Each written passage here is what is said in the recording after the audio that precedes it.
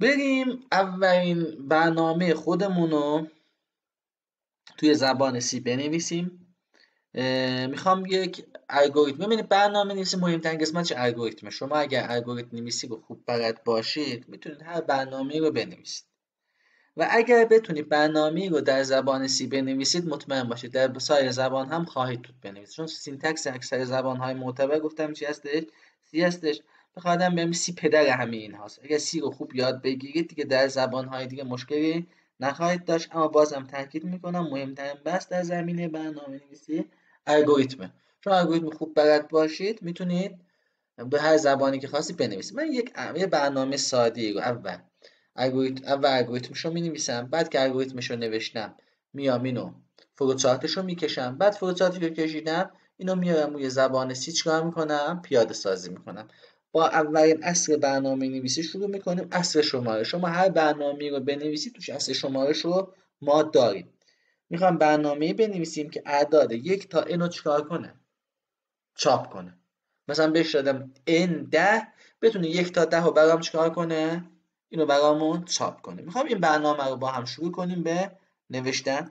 میام اول یه وای ورد باز می‌کنم. الگوریتمش رو می‌نویسیم. الگوریتم یعنی بیام کارهاشو مرحله مرحله پیاده سازی کنم. میگم آقا صفر. اولش میگم شروع کن. بذار اینم بزرگ کنم. میگم ما صفر شروع کن. یک.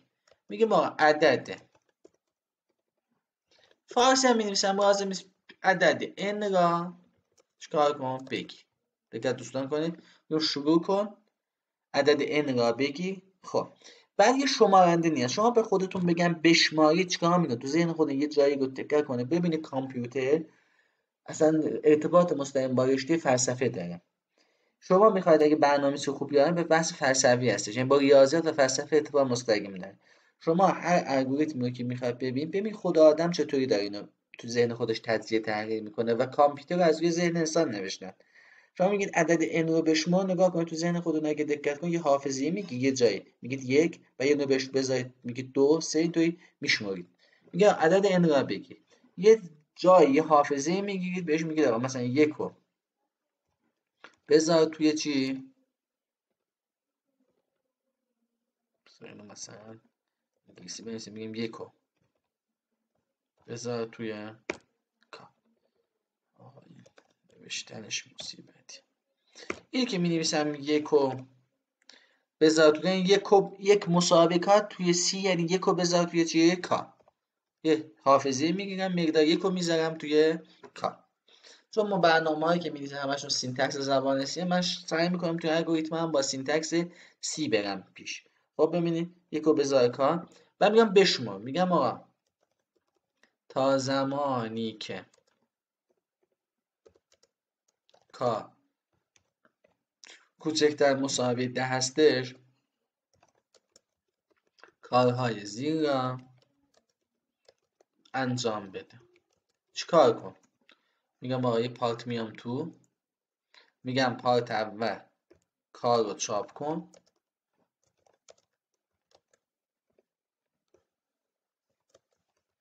part دوم k رو به اضافه یک کن. بذار تو k. که بذار می‌تونیم بنویسی k plus plus k plus plus یعنی k رو به اضافه یک کن بذار توی k و چی؟ چهار میشه پایان خب ببینید بیاید اینو با هم یه دونه چیکار کنیم؟ trace کنیم. من اینو می‌کشم این گوشه. خب اینو با هم چیکار کنیم؟ الگوریتم رو بخواد یاد بگیرید با trace رو یاد بگیرید trace رو یاد گرفتید الگوریتم براتون آسون میشه. مهم من نوشتن الگوریتم میشه وگرنه دستورات یه مدت دیگه تایپه چیز دیگه ای نیست. ببینید trace یعنی چی؟ میگه آقا صفر شروع کن. میگم باش. هم شروع کنم. میگه آقا یه رو بگیر من یه ظرفی می‌گیرم. میگم آقا n مقدارش رو فرض کن. میدم ده. یه مقدار تصادف دارم. میگه یکو بذار توی کا یه جایی از حافظه می‌گیرم. کا مقدار یکو می‌ذارم تو کا میگه آقا تا زمانی که کا کوچکتر از آها ببین ده. این ده نوشتیم. این باید n. خب تا زمانی که کار کوچکتر از n یعنی یک کوچکتر از ده کارهای زیر انجام بده. ببینید چاپ کن ما یه مانیتور اینجا فرض می‌کنیم هست که اینجا یک چاپ میشه. این مانیتور منه. مانیتور. و میگه k رو plus plus کن یعنی یک رو به اضافه یک کن. این k plus plus یعنی این. ببینید k رو به اضافه یک کن بذار توی k. منظورش اینه. خب k چنده یک. به اضافه یکش میشه دو و بذار تو k. یعنی پاکشون مقدارش بشه دو. خب دو که شد به صورت پیشوز یادتون باشه. این از پارت های A B میاد توی سه. اینجا میچرخه. این تشکیل هرگه میده. نگاه کنید یعنی میاد سه پارت Aش سه پارت بیش دوباره من میگه تو سه. اینجا اینقدر این میچرخه میچرخه میچرخه که این روپ و هرگه رو چکار کنه؟ بهش میگن روپ. یا هرگه از این هرگه در اینجا هی این شکلی میچرخه. خب میگه k رو چاپ کردیم k رو plus plus کردیم. دو میگه دو کوچکتر دهه. میگیم بله میگه دو رو چاپ کن. دو چاپ میشه. خب میگه k plus plus کن. k میشه سه. خب میگه سه کوچکتر مساوی ده میگیم بله میاد سه رو چاپ می‌کنه. بعد میگیم k رو به اضافه plus plus کن میشه چهار و به همین ترتیب میگه تا می‌رسه عدد ده و اینجا تا ده هم چی میشه؟ چاپ میشه. خب میگیم k رو plus ده به اضافه یک میشه چند؟ ببینید k میشه یازده اینجا. k که شد یازده یازده کوچکتر مساوی ده نه میاد پایان. این شد الگوریتم ما که trace ش کردم. به این کاری که من انجام دادم دوستان میگن trace کردن. بهش میگن trace الگوریتم trace ش کردم. خب یاد بگیری سعی کنید فلوچارتش هم چیکار کنید بنویسید. بهترین ابزار واسه کشیدن از فلوچارت نرم افزار چی هستش؟ Visio هستش. یه Visio نصب کنید. با راحتی می‌تونید چیکار کنید؟ آه من ببینید اینجا basic diagram داره نگاه کنید. basic flowchart انتخاب کنید. خب میگه چه شکلی می‌خوام؟ من همین basic ش رو انتخاب کنم. یه create می‌زنم. خب اینجا شروع کنیم. خب میگه استارت کن. خب data. میگم آقا n را اینو که می‌نویسم n یعنی n را بگی. خب بعد می‌خوام محاسبات بذارید. یه دونه از اینجا به process ها محاسبات رو این شکلی می‌نویسیم. خب میگیم آقا توی k بذار چند و یک. decision یعنی تصمیم گیری. میگه ما تا زمانی که k کوچکتر مساوی n کارهای زیر انجام بده. چیکار کن؟ یه ترو داره یه فاست میگیم تو ترو چیکار می‌کرد؟ دو تا کار انجام میده می‌گفتیم ما اول کار رو چیکار کن؟ چاپ کن بذار من اینا یه چاپ کردن ببینید معمولا چاپ کردن رو به این شکل نشون میدن. نگاه کنید. معمولا چاپ کردن رو یا به این شکل نشون میدن یا به این شکل. هر کدوم خواستید می‌تونید استفاده کنید. اکثر به این شکل نشون میدن. کار رو چاپ کن. اینا میگیم آقا این درستش کنم که تو شکلش خب میگیم آقا تو yes بیا k رو چاپ کن. اینو می‌خونیم k رو چاپ کن. بعد که k رو چاپ کردی تو yes ش k رو plus plus کن. بعد plus plus کردی بذار این شکلی بکنم دیگه. به این شکل نوشته؟ من کاری با این ندارم. بیایم اینو بذاریم این قسمت به این شکل. بکنم درکش براتون. می‌تونید پاک کنیم بکشید نگاه کنیم میاد از این ابزار پوینتش استفاده میگه آه این از این. این از این. ممکنه بگیم داره بازی می‌کنه. نه این خیلی مهمه. میگه آقا اگر کار کوچکتر مساوی این بود یسش اینه. بیا k رو چاپ کن بعد k رو plus plus کن. بعد که تموم شدی چیکار کن؟ برگرد به اون قسمت تصمیم گیری این قسمت. ببینید؟ دوباره برمیگردی به این قسمت هی تو yes می k رو چاپ می‌کنه k کوچکتر از اینجا هی میچرخه بعد که no شد میاد چیکار می‌کنه؟ به end برنامه اینجا می end و میاد به end برنامه. ببین این فلو چارت برنامه شد. شما نگاه کنید میگه ما استارت کن. اینو بگی فکر کن ده دادیم به k میدیم یک یک کوچکتر مساوی ده بره. اگر yes بود k رو چاپ کن بعد k رو plus plus کن. میایم بالا. هی اینجا میچرخه اینا رو چاپ چاپ چاپ چاپ می‌کنه تا میاد end و میره بیرون. اما می‌خواد برنامه رو بنویسم. ببین برای نوشتن این برنامه قبلا اینطوری بود. کتابای نگاه کنیم میاد دست میومدن اول دستورات رو درس می‌دادن. بلکه دستورات دست میدن بعد شروع به برنامه نویسی می‌کردن. نه دوستان دستورات مثل کلمات هستش. وقتی ما می‌خوایم یه زبان جدید رو یاد بگیریم مثلا صحبت کنیم واقعا کسی نشسته ما دونه دونه کلمات رو گفته. نه. ما کلمات رو در داخل جمله باید یاد بگیرید شما دستورات هم باید در داخل برنامه یاد بگیرید سعی نکنید دستورات جداگانه یاد بگیرید. یادتون میره. سعی کنید دستورات رو در وسط همون برنامه هایی که استفاده می‌کنید یاد بگیرید. ببینید واسه این برنامه که ما می‌خوام کار کنیم خب یه syntax کور یه C sharp هست؟ ما دو سه تا دستور لازم داریم یاد بگیم عدد n را بگی کلا گرفتن دستوره با scanf ه. این دستور یادتون باشه. بگیر یعنی scanf از syntax ش هم بهتون یاد میگم. شما هر جا می‌خواد بگیر رو بنویسید scanf هر جا می‌خواد چاپ کنه می‌نویسید printf. این سه تا دستور یاد بگیرید. پرینتف هم یعنی چاپ. هر جا خواستید چاپ کنید پرینتف. خب تا زمانی که همون وایره انگلیسیش میشه وای. وایره تا زمانی که. اینجا ما سه تا دستور نیاز داریم. همین هم با یعنی شما اکثر دستوراتی که برنامه هایی که ما قراره تا چند جلسه آتی بنویسیم همشون سه تا دستور یاد گرفته. این سینتکس رو یاد بگیرید کافی هستش. زیادم ذهنتون رو درگیر سینتکس ها نکنید. اینا تو اینترنت هست شما ذهنتون بیشتر به فلوچارت و اینا برید. چون در هر زبانی مثلا در سی این دا چی بود؟ میمونه گفتیم کنسول دات ریدلاین سیستم دات خب یا مثلا سیستم دات چیز پرینتر یا مثلا توی سیستم دات اوت توی جاوا این شکلیه. من فهم می‌کنن. آدم اینجا سینتکس ها زیاد و یه بار نگاه کنه تو هر زبانی کفایت کار رو میده. خب می‌خوام همین رو بنویسم. ببینیم میام. اینم بذار کوچیکش کنم بکشم یه گوشه که شما ببینید که من ببندم که فضا داشته باشم. خب بعد این کدمونم بیاریم اینجا. من می‌خوام این الگوریتمم رو خب من می‌خوام الان این کدم رو تبدیل کنم به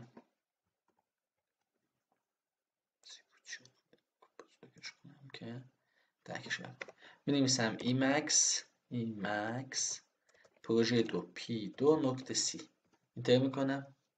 محیط ایمکس برام چی میشه؟ ظاهر میشه. خب ببینید گفتم سینتکس اینو حفظ می‌کنید. include یه با یاد start.io.h اول هر برنامه رو میمیسید init main. حفظ کنید شعر حافظ.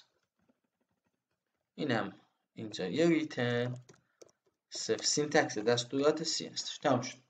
این رو بنویسید و save ش کنید. خب اول برنامه از اینجا شروع میشه. میگه اینو بگی. یادتون باشه اول توی زبان های خانواده C بخواید از این استفاده با اینو تعریف کنید. من اینجا میگم int n یعنی n عددی هست از نوع صحیح. اینو تعریف کردم. میگم ما n یه متغیر از نوع صحیح. میگه اینو بگی. نمیسم اسکن f. ببین نحوه گرفتنش. خیلی راحت. به این فرمت می نویسیم اسکن f یعنی بگی میگم یه عدد صحیح بگی. در صدا یعنی یک عدد صحیح از من بگی. And and n. And n یعنی چیه؟ جا این این عددی رو که می‌ذاری ببر بذار تو آدرس متغیر چی؟ مقدارش رو بذار به جایی که متغیر بهش اشاره می‌کنه. یعنی اینو بگی یعنی عددی رو که از کار برمیگی ببر بذار توی n. ساده رو بهتون بگم. اسکن اف اینو حفظ کنین. N را بگی یعنی اسکن اف در صدای اندل. ممکن در صدای بعدا بشه در صد دی دوبو تعریف کنیم. در صد اف رو تعریف کنیم. اینا کار خواهیم که فعلا شما در صد آی بگید جلو خب میگه ما اینیت n رو تعریف کردیم. scanf n رو بگیر. یعنی این خط انجام دادم. خب میگه بعد کا خب اگر می‌خوام از کا استفاده کنم اول باید کا رو تعریف کنم. میگم و کا من میام توی کا می‌ذارم مقدار یک. بعد هر دستور C هم semicolon داریم. ما کلا زبان هایی که قرار خواهیم همشون syntax C هم و semicolon تا عادت کنیم بشه میگه تا زمانی که میگم while یعنی تا زمانی که. چیه؟ syntax ش این شکلیه. این syntax while ه هر میگه وای تا زمانی این syntax شه.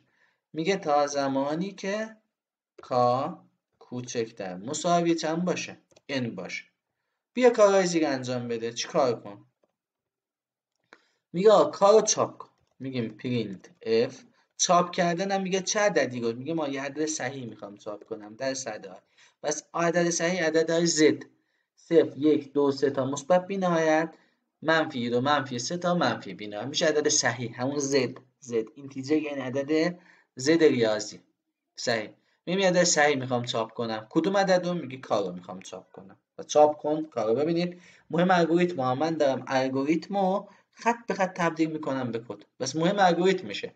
چون ببینید ما دو تا شکل scanf و printf رو یاد بگیریم و وای رو یاد بگیریم بقیه حله. مهم اون الگوریتمه. الگوریتم یه بار یاد بگیرید. اونم نگران نباشید. همشون از سه چهار تا اصل مهم شمارش جمع ضرب و تقسیم تبعیت می‌کنم برنامه نویسی خیلی آسون و شیرین هستش. یعنی یه مقدار تمرین کنید واقعا برنامه نویسی خودش آسونه چیز خاصی نداره. ببینید printf درصد i کا یعنی کا رو چاپ کن و کا رو جمع کن plus plus کن. و آخر هر دستور گفتم semicolon ئه خب تموم شد. اینو یه بار save کنید. سعی کنید از کلید میانبر استفاده کنید. کنترل X کنترل S ببینید. میگه save شد. کنترل X کنترل C میاد بیرون. کنترل X کنترل C میاد بیرون. خب اومدم بیرون. خب می‌خوام چیکارش کنیم؟ من بزرگ کنم. می‌خوام compile ش کنم. gcc dash o اسم فایل چی بذاریم؟ شما بگید. P دو. من چون با exe ویندوزی آشنا P دو exe می‌زنم نمی‌زنم چون می‌خوام عادت کنم به لینوکس فایلمون اسمش چی بود؟ P دو. نقطه C compile ش کرد ls کنید نه dir ه. ببینید P دو exe ساخت. تو دسکتاپ هم ساختن. نگاه کنید. محیطش من P دو exe رو چیکار کرد اینجا؟ ساخته. خب می‌خوام اجراش کنم. یادم تو لینوکس اگر تو ویندوز بزنید P دو enter کنید ممکن توی ویندوز اجرا بشه. چون تو ویندوز default پوشه جاری هستش. توی لینوکس برعکسه. اول میگه فایل های sbin و bin و یه سری پوشا رو میگرده بعد میاد خودشو میگرده. اگه اونجا از اون فایل باشه خطا میده. به خاطر همین اگه می‌خواد توی لینوکس اجرا کنه نقطه. یعنی از مسیر جاری فایل P دو رو برام چیکار کن؟ اجرا کن؟ نگاه کن enter می‌کنم. میگه عدد رو بده. میدم ده. ببینید یک تا ده رو چیکار کرد؟ چاپ کرد. خب ممکنه بگید من نمی‌خواستم اینطوری زی... جوی هم چاپ کنم. می‌خواستم زیر هم چاپ کنم. خب مشکلی نیست. Emacs editor ها Emacs دستور نیست یه ویرایش کرد مثل Notepad Notepad plus plus مثل gedit شما می‌تونید با مثلا می‌خواید gedit استفاده کنید مثل gedit ببینید P دو نقطه C ببینید همین gedit ماست این از gedit هم. اما چون gedit نمیاد اینا رو رنگی منگی نشون بده و اینا این مقدار چی اذیت می‌کنه من می‌خوام میگم که با Emacs کار کنید Emacs خب P دو نقطه C. خب ببینه بزرگش کنم. خب میگه که آقا Emacs مون اومد بالا. خب میگه آقا می‌خوام بنداز خط پایین. ببینید این علامت یاد بگیرید. slash n هر کدوم رو که چاپ کرد slash n بنویسید. یه خط میندازه چیه؟ پایین. new line ه مخفف new line هستش. slash n یه خط بنداز پایین. اینو می نویسم save ش می‌کنم. نگاه کنید میام بیرون. کنترل X کنترل C. بعد دوباره compile ش می‌کنم. اینجا مونده دستور. تنبلی کن از این استفاده کن. دوباره میگم آقا P دو نقطه C رو compile کن. اسم فایل خودش هم بذار چی؟ P دو بعد میگم آقا نقطه backslash P دو رو برام چیکار کن؟ اجرا کن. میگم ده. نگاه کنید. از یک تا ده رو برامون چیکار کرد دوستان؟ چاپ کرد. اولین برنامهتون رو نوشتید. که مهمترین برنامه هم هستش. تقریبا میشه 90 درصد برنامه‌تون اصل شمارش هستش. خواهید دیدم هر برنامه‌ای که می‌نویسم همین اصل شمارش عوض می‌کنم. برنامه برامون چیه؟ انجام میشه. خب برای هومورکتون چون ببینید من یه نکته هم بهتون بگم دوستان عزیز دانشجویان عزیز. من جز اون اساسی هستم که اصلا به امتحان پایانی برام مهم نیست. چون در امتحان پایانی ممکنه هزار و یک مشکل برای دوستان پیش بیاد. ممکنه کسی مریض بشه یا براش کاری پیش بیاد. مشکل خب زندگی سخت شده. مشکل خیلی زیاده.